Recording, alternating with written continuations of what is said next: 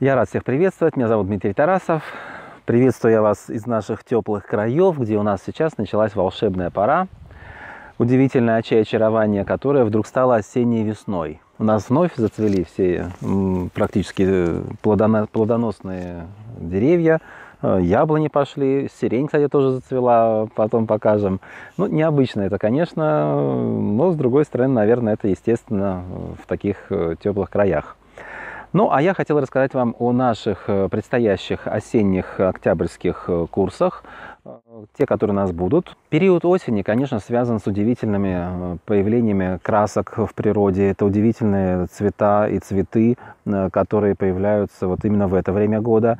А, одна из особенностей, конечно, октября – это листопадная пора.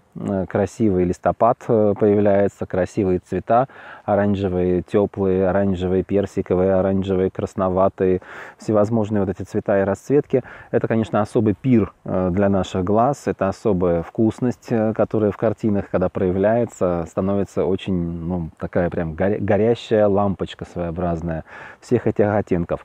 Я бы хотел вам как раз через осенние пейзажи э, показать, как можно усиливать эти эффекты через контрасты, через какие-то особые элементы в пейзаже, когда вот действительно появляется усиление вот этой всей горящей поры всех этих ореолов э, свечения листиков. Конечно, здесь еще такая пора не скоро, но где-то уже это есть. Э, и вот эту вот огненную пору я предлагаю вам перенести на холсты.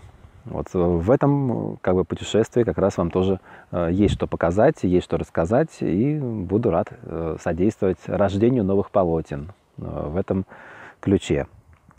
И курс «Морская живопись». Эм, живопись морская, конечно, тоже, с одной стороны, это курс, который посвящен морю, с другой стороны, там будет и пейзаж. Э, как бы получается, что это тот э, объект картины, в котором есть и суша, и море. Все это э, почти что пополам.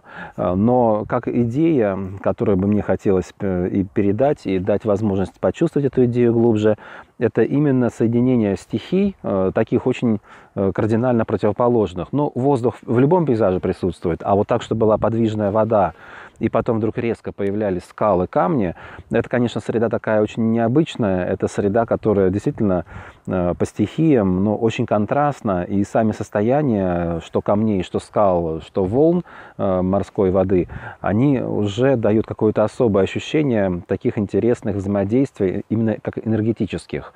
И некий разделитель э, между этими двумя стихиями будет зеркало. Я хотел э, поднять немножечко вопрос о зеркальных эффектах, э, когда в какой-то промежуток прибоя появляется эффект зеркала. И в этом зеркале на тоненькой грани воды песка появляется отражение скал, камней, объектов каких-то там, птицы могут гулять по, по этому песку. И все это отражается. Это тоже очень красивый эффект. Э, который сам по себе уже завораживает, и какая-то есть в нем особая мистика, когда вот э, действительно две абсолютно противоположные стихии, и между ними какой-то такой переход э, через зеркало. Вот это тоже очень интересный эффект. Хотелось дать вам его почувствовать, передать на картинах. Вот приглашаю. И на эту встречу тоже. По датам это все будет ниже нашего видео указано. Вот. И еще один курс, который мы приготовили ближе к концу нашего месяца, это арт-терапевтическая сессия, семидневная, э, в которой мы будем делать, э, с одной стороны, это будет абстрактная живопись, с другой стороны, это будет именно э, такая спектральная ритмичная, спектр, спектроритма мы ее назвали, тот импульс, который действительно каждый из нас с вами испускает постоянно, это наша спектральность. Э, конечно, э, суммарная спектральность человека, наверное, такой немножечко спорный момент. У нас все-таки разные вещества есть. Есть твердые материи в человеке, есть жидкостные среды. Они могут давать разные спектра, но суммарно все равно какая-то есть частотная характеристика у каждого человека. Я бы не спешил это называть аурой, это все-таки как одна, одна из частей, может быть, этого спектра. Это именно спектр, который излучает любой вид материи нашей э, Вселенной. Э, любое вещество э, имеет вот эти вот полоски радуги, просто полоски разной ширины. Где-то бывает побольше синенького, где-то побольше фиолетовенького, где-то побольше желтенького или красненького, э, в зависимости от того или иного материала. И эти полоски у всех, э, эффект, э, у всех предметов нашего мира, они все разные. И у человека тоже. Я бы хотел, чтобы вы почувствовали, попробовали вот окунуться в каждый из этих спектров, отчасти как бы сделать такой эффект небольшой спектрографии легкой, такую спектральность пройти небольшую, но через рождение картины, в которой мы сделаем с вами некий такой картографический э, путь э, вот этих движений, в который будут как карта э, всевозможные вот эти вот оттенки и цвета спектральности, которые нам позволят и почувствовать их глубже, и э, применить их на практике впоследствии, когда вы будете чувствовать вот какое-то тяготение внутреннее к какому-то цвету, я как э, вариант э, предлагаю вам использовать именно картину для того, чтобы вот в эту картину нырять в какой-то один из оттенков. Вот, вот это как бы такой момент программы «Максимум». Сделать такую карту своеобразную, через которую можно входить в тот или иной спектр еще глубже, как настройка. Некая такая будет действительно форма, в которой мы сделаем себе такие маленькие двери, что ли, двери в разные оттенки этого спектра.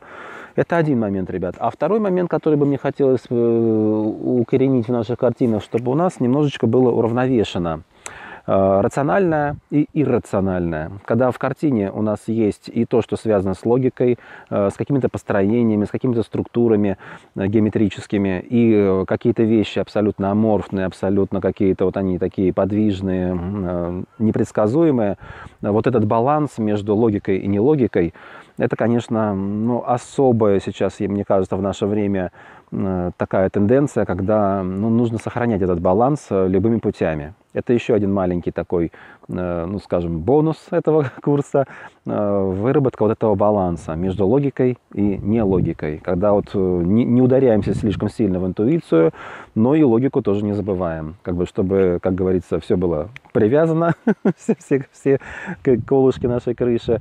Вот некая такая действительно стабильность вот этой логики. И в то же время, когда нужно и необходимо, мы могли спокойно послушать то, что где-то находится за пределами нашего понимания понимания. Вот чтобы это тоже э, как-то вот э, тропиночка держалась. Это вот будет такой дополнительный момент, который мне хотелось бы ну, как-то передать э, вот глубже это ощущение, держаться за него и периодически, когда это необходимо, э, приглашать в свою жизнь вот это вот ощущение баланса между логикой и интуицией. Можно так сказать. Вот. Так что приглашаю на наши осенние программы. Э, выбирайте, что вам близко, что вам созвучно. Э, какие-то моменты будем еще освещать э, в дополнительных каких-то наших публикациях. Всего доброго, всем всего самого наилучшего.